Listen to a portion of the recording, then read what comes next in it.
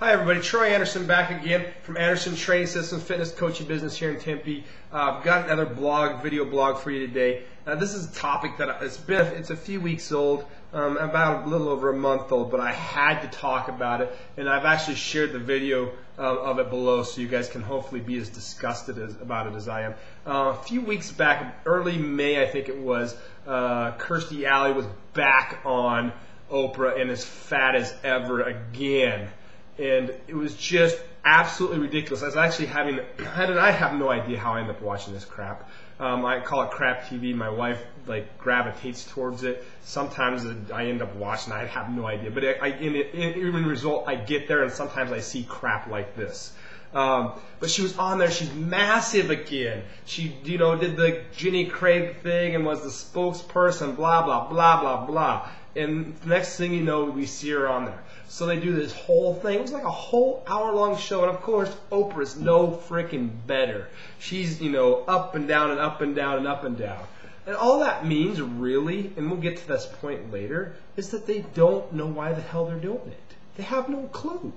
And so if you don't have a clue on why you're doing it, then it's easy just to flitter away like they do. They get too busy, they get too run too many businesses, blah blah blah. I've seen it happen a million times. But here's a few notes. I got my trusty uh, note-taking book out here. I actually took some notes that day.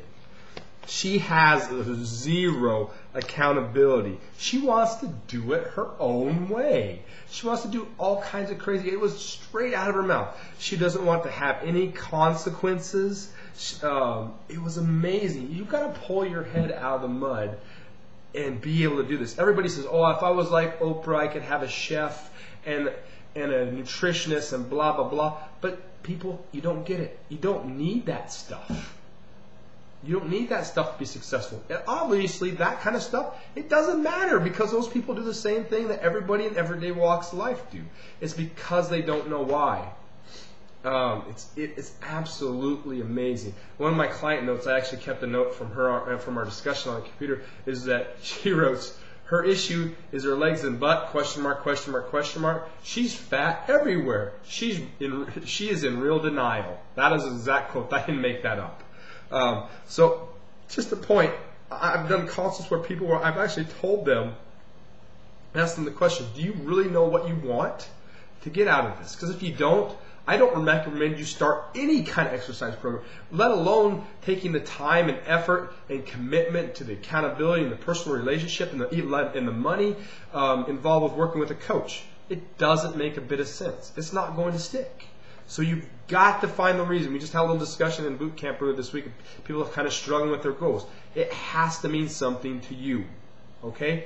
If it means something to you, you will make it happen whether you're Oprah with a bazillion dollars and can buy all the things you want, or whether you're the poorest, most non-knowledgeable, don't have internet access person out there. Think about it. You can get the job done on very basic premises.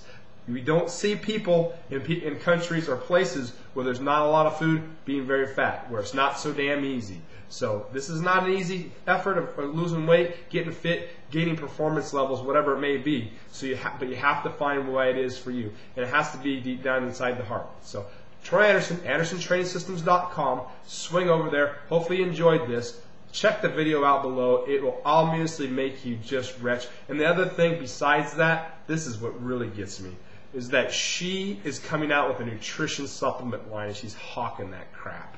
Because that's how she's going to do it. She lost, I don't know what, she came on the show and lost 10 pounds in 20 days or some crap thing.